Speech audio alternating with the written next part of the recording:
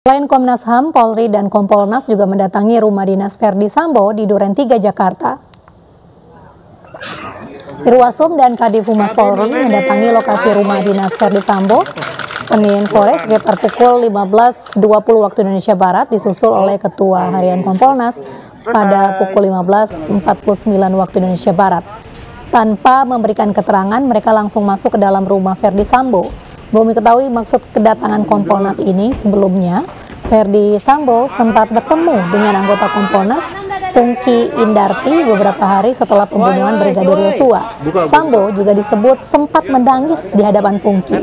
Ketua Harian Kompolnas Beni Mamoto pun menepis tudingan adanya komunikasi maupun penerimaan imbalan dari Sambo terkait kasus ini.